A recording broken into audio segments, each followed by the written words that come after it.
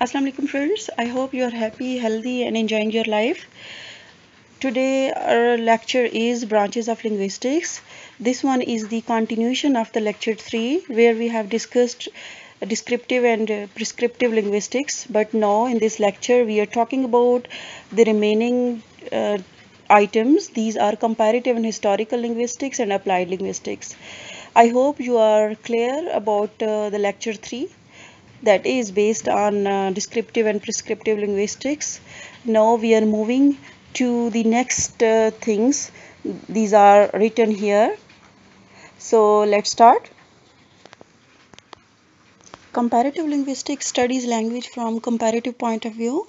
It is based on synchronic description of language and it involves comparing and classifying relevant and defining features of the shared languages. Similarly, it can be classified and compared according to three different principles. Those are genetic, typological and areal.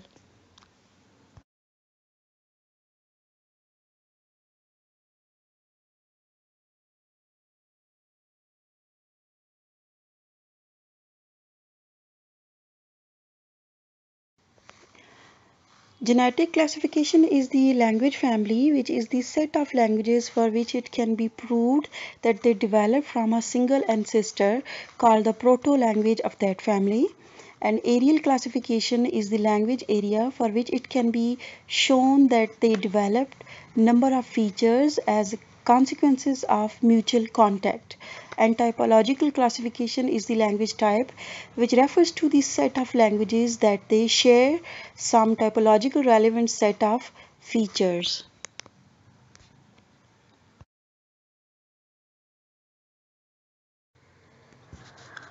In comparative linguistics, as I have mentioned earlier, we compare and contrast languages.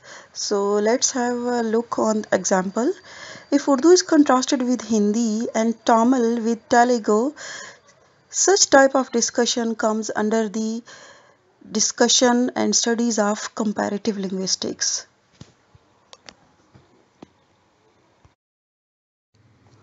Historical linguistics studies language development and change from the historical point of view.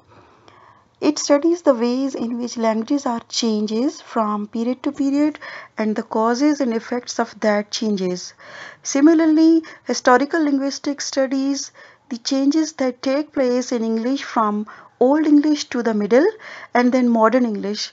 These all changes that are studies uh, from one English to the next period of English are studies under the heading of historical and comparative linguistics.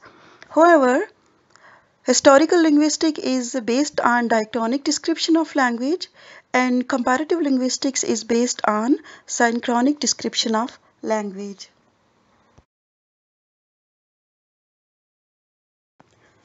Historical linguistics studies language diachronically and it describes language according to diachronic point of view.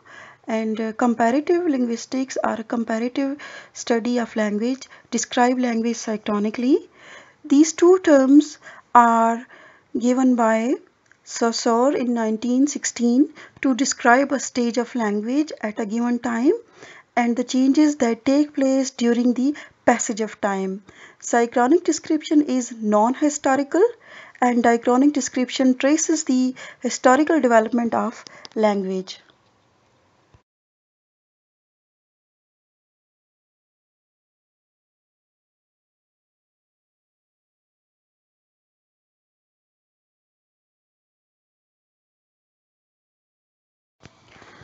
Applied linguistics is uh, the next important branch of uh, linguistics that we are going to discuss now.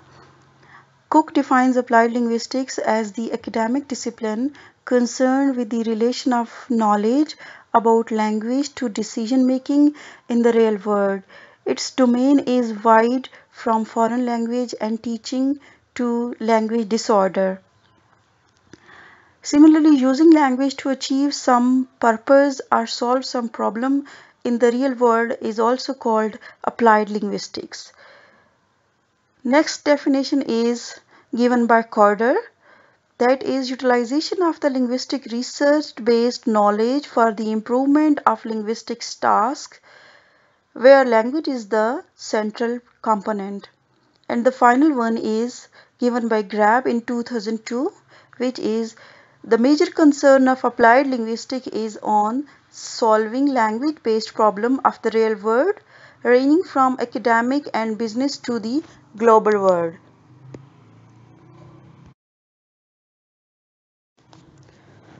Let's talk about scope of linguistics. Cook defines the scope of applied linguistics. The first one is language and education.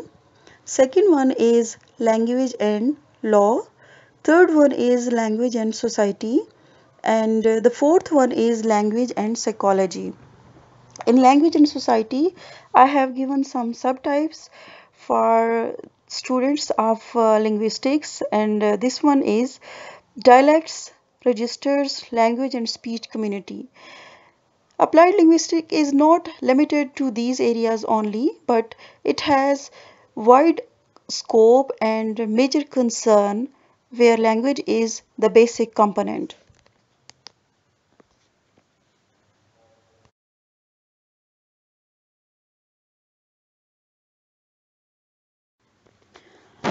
So this one is the last slide where some references are given. Thank you for your time and your consideration. Please subscribe this channel for updated videos on language and linguistics.